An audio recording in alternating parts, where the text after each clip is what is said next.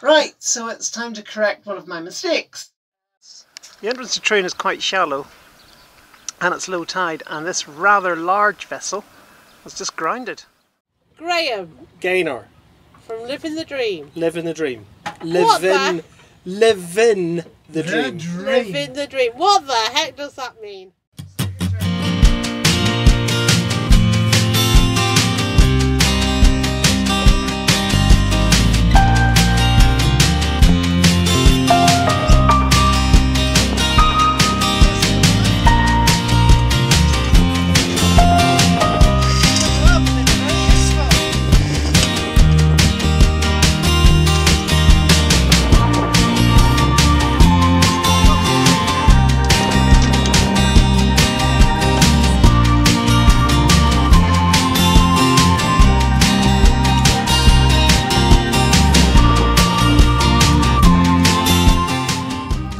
Yesterday we were in um, Largs.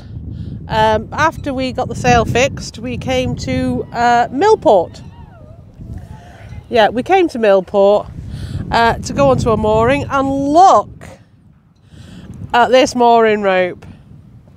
This mooring is rated to 15 tons, and I have to be truthful, I believe every word of that, but we still like to be safe. So what we've got is we've got another rope through that to a cleat at the back. So regardless of what happens, um, we're not going anywhere. But uh, as I say, with this is little Millport, and um, the moorings here. Some of the moorings are free. Uh, however, there is an honesty box, so you can, you know, make a contribution which we will be doing. So, uh, but I have to say they're pretty uh, ace. And over there, uh, there's a little island, and uh, that's where the seals frequent. And uh, a lot of the time, they sound like they're singing. They're singing seals as far as Beverley is concerned, but mainly at the moment they're complaining in the fact that their island is disappearing. Right, so it's time to correct one of my mistakes. Um, when I put the dry mat in, I did it right up to the edge on both sides. What I should have done was I should have done it about 8 centimetres above the edge because that's the height of the mattress because the mattress sits against the outer walls and picks up moisture.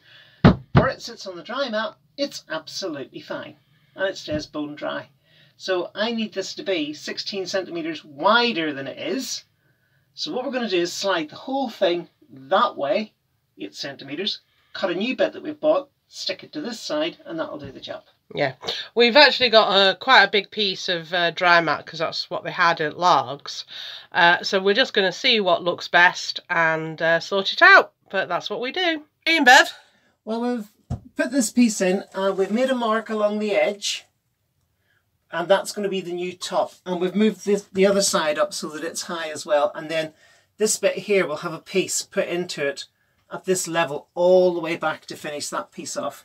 The nice thing about this is it can all be finished with cable ties. You just put cable ties on it and it all goes in. Right, okay.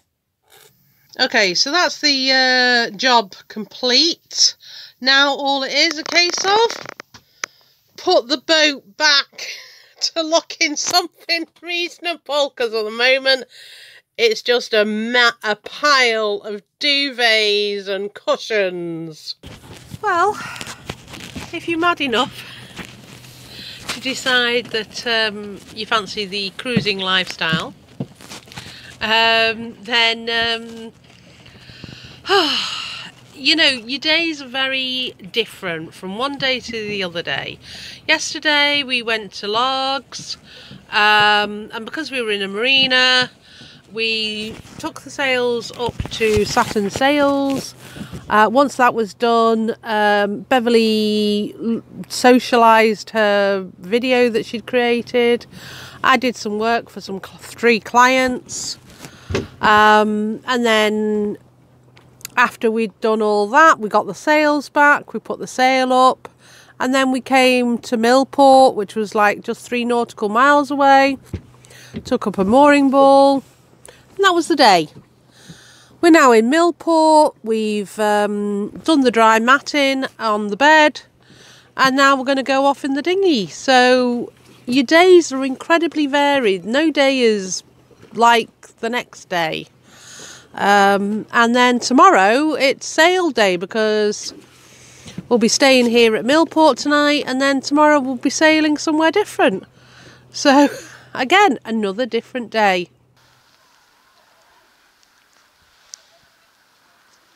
The rain meant that Millport was quite quiet, but we saw Britain's narrowest house and we found the Hebrides' Cathedral. But most important of all, we found a traditional sweet shop. Beverly couldn't um, resist going into the sweet shop, could you, Bev? Yep, says. Do you want a cola cube or a lemon bonbon?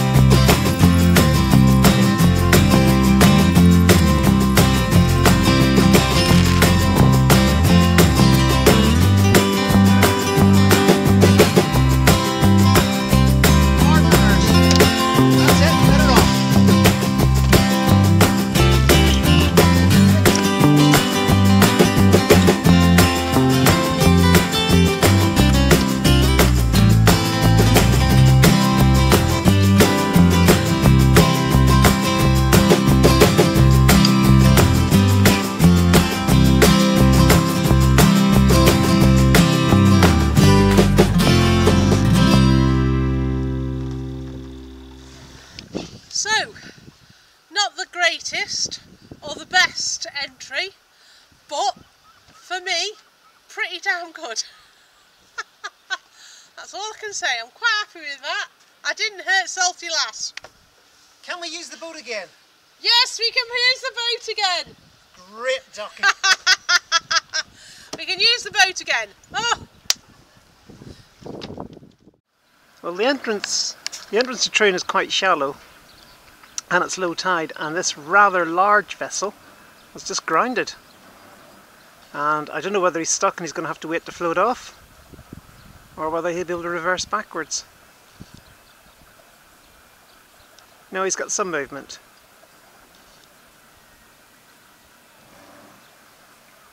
But I would not want to be in that, stuck in that entrance.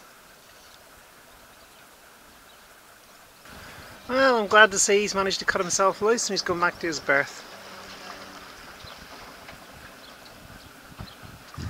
and now we're in Largs, um, where we're meeting one of our subscribers. Um, basically, they've just contacted us through our Facebook page and um, you know messaged us. So if you you're a subscriber, then you can message us, and if we can, then yeah, we will come down and say hello.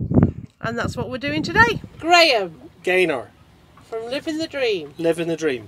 What the- Living, living the dream. Living the Dream. What the heck does that mean? This means whatever you want it to mean. Uh huh. Life is for Living. living. So that's living the dream. Absolutely. Are you living? dream, Are you Gaynor? Yeah. Are you and Beverly living, living the dream? I don't know if it's the dream, and I don't know whose dream it could be, but we're certainly living reality. Well, reality is reality. That's a bit of an oxymoron.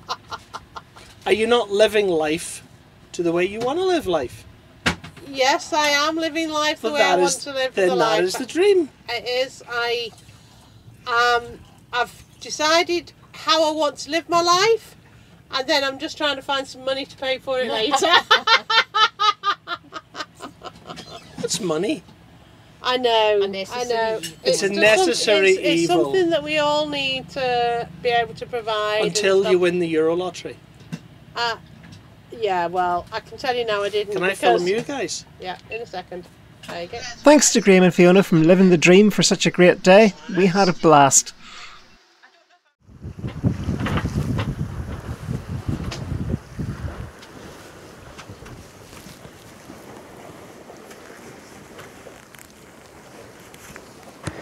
It's a rather grey day, I'm afraid, but we've got our sails up and um, we're going. Oh, what we're doing?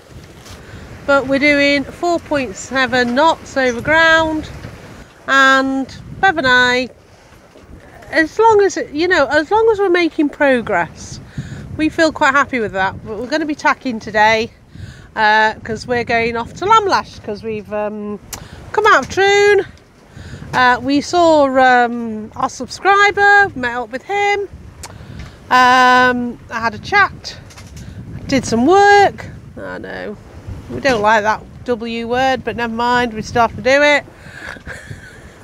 and now uh, we're going off to Lamlash. So I'm hoping that I will be doing an anchorage. Um, but at least I um, um, got us out of the um, Troon today. So um, so I entered Troon on my own with Bev, just guiding me a bit, and I've left Troon. So I'm happy enough with that for my challenges. Uh, just want to try and get an anchoring going if I can. We know that we're well balanced when Annie is doing very little.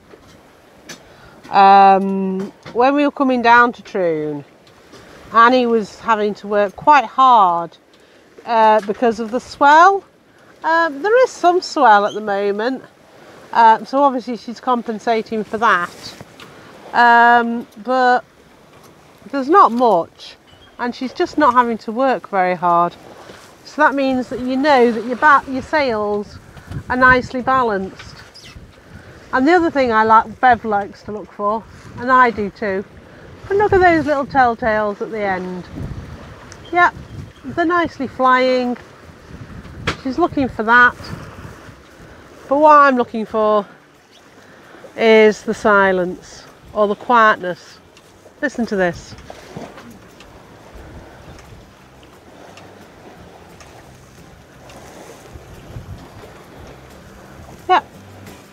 Sailing for you. Beautifully quiet.